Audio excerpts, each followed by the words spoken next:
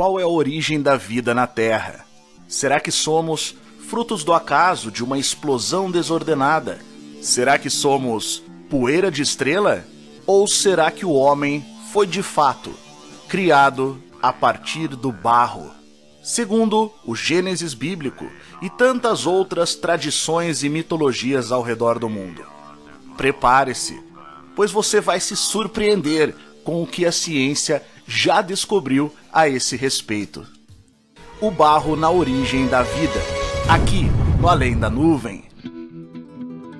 Talvez você não saiba, mas o ingrediente que faltava para reunir as moléculas orgânicas da Terra primordial em uma membrana, formando um esboço de célula, pode ter sido uma simples forma de argila, um pó ou pasta acinzentada comum em diversos lugares do planeta é exatamente isso que sugerem os experimentos feitos por cientistas norte-americanos, nos quais a mera adição desse condimento mineral multiplicou em 100 vezes a tendência de ácidos graxos, ou as moléculas que compõem os lipídios ou gorduras, de formar uma membrana de camada dupla, parecida com a que todas as células bacterianas, animais ou vegetais ostentam até hoje. Esse projeto de célula, no entanto, vai muito além da mera formação. Ele consegue crescer, incorporando mais partículas de ácido graxo espalhadas nas proximidades e até se dividir, embora precise de um certo grau de estímulo dos pesquisadores para conseguir realizar essa última proeza. Não estamos querendo dizer que foi exatamente assim que aconteceu durante a formação da vida, declarou o bioquímico Jack Chostak, ganhador do Nobel de Fisiologia ou Medicina de 2009 quando engrossava o corpo docente da Universidade de Harvard. E ele completou: o que o nosso experimento faz é demonstrar que precursores celulares poderiam aparecer sem a necessidade de mecanismos bioquímicos complexos. Seu trabalho foi publicado na revista norte-americana Science. O experimento de Chostak e seus colegas marca mais um ponto em favor da humilde argila, que já tinha demonstrado outra propriedade suspeitamente pró-vida. Ela é capaz de induzir a formação de cadeias de RNA, a molécula irmã do DNA, que também armazena instruções genéticas, e ao contrário dele, consegue induzir reações químicas sozinha. Para muitos cientistas, o RNA é o candidato ideal para primeiro material genético da história da vida. Jostak explicou que os cientistas se inspiraram na conhecida capacidade da montmorilonita, que foi o tipo de argila mais utilizado no experimento, para ver se ela conseguia induzir o mesmo processo com os ácidos graxos. A tendência desses ácidos é se juntar em pequenos aglomerados, e os pesquisadores perceberam que a adição de um pouco de argila montmorilonita a essa mistura aumentou em 100 vezes a tendência de fazer com que esses ácidos se juntassem em pequenos aglomerados envolvendo as células, criando assim membranas celulares. Os pesquisadores misturaram ainda RNA, marcado com uma tinta fluorescente vermelha, a argila, e ele também foi englobado. Mais um passo em direção a uma célula, com membrana e material genético. E quanto mais matéria-prima, o barro ou a argila no caso, mais essas vesículas de dupla camada que surgiram da reação cresceram, acabando por absorvê-la. E os pesquisadores causaram a sua divisão celular, que ocorreu sem perda de material interno. Chostak concluiu que, no entanto, ainda que esse tenha sido um grande passo em direção a uma descoberta maior, que comprova a relação da origem da vida com o barro, ou a argila, temos de ter a mente aberta e tentar simular um caminho completo da formação das moléculas orgânicas à das células. Mas uma coisa é certa: matéria-prima não faltava, referindo-se à argila. E é curioso o fato que, em Gênesis, capítulo 2, versículo 7, está escrito que o Senhor formou o homem do pó da terra e soprou em suas narinas o fôlego de vida.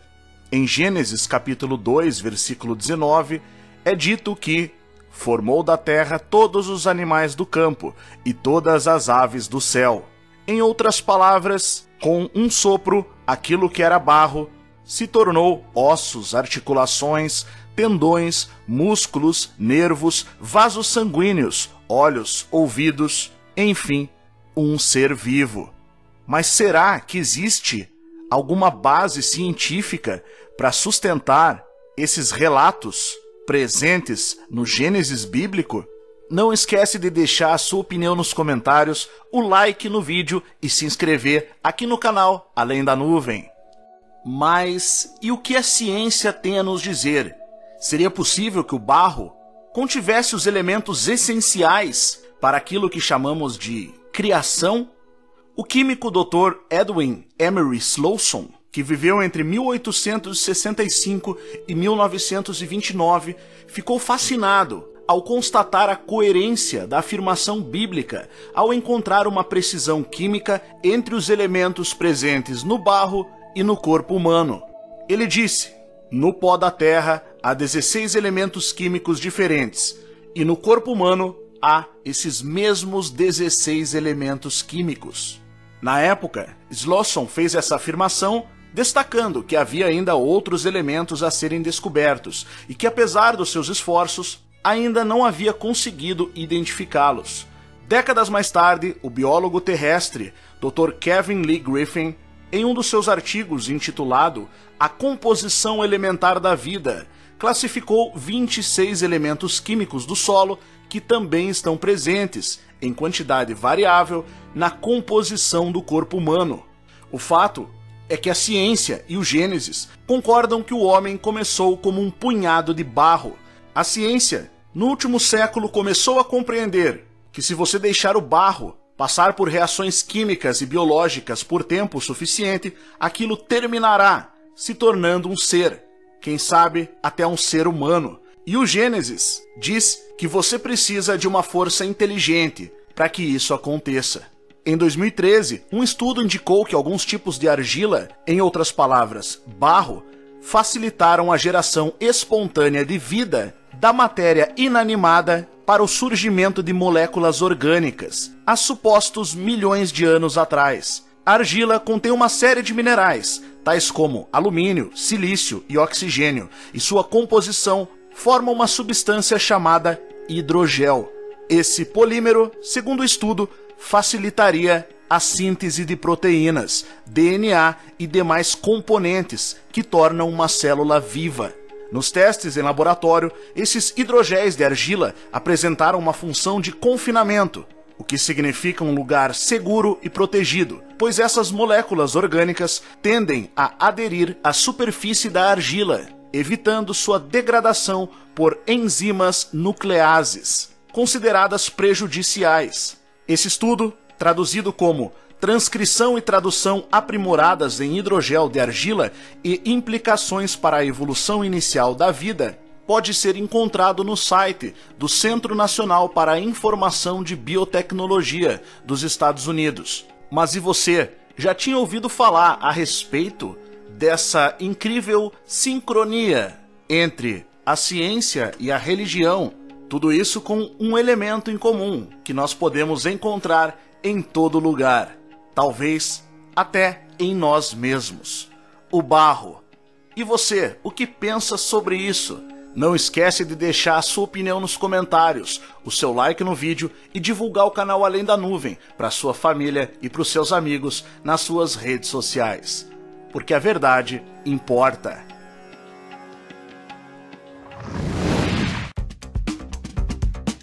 Você já viu os pacotes de curso do Instituto Licentia? Licenciado Ouro, a outra história do mundo, a verdadeira história do Brasil, mistérios nunca ditos, conspiratorium, capitalismo reverso e brokers, treinamento em mercado internacional.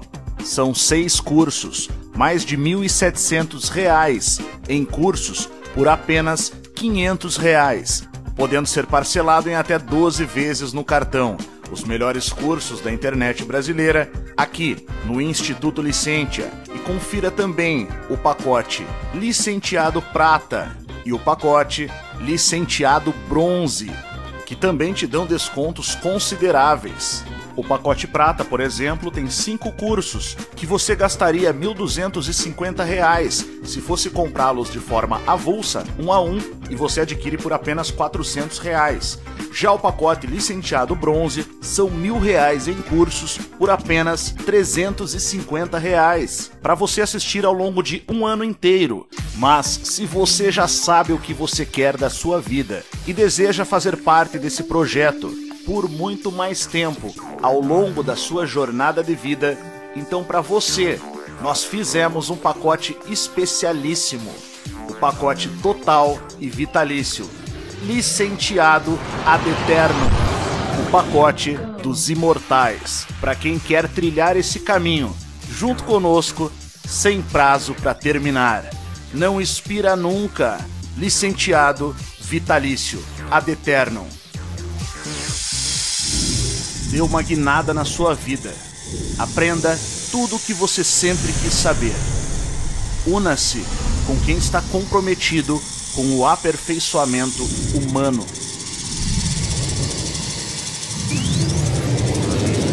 Instituto Licentia Perfectionem Humanam a busca pela perfeição humana.